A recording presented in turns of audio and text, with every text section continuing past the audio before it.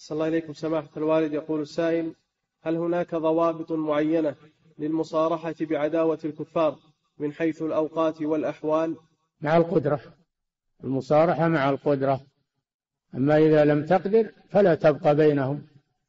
لا تبقى بينهم. وأن تقدر على الهجرة. هاجر.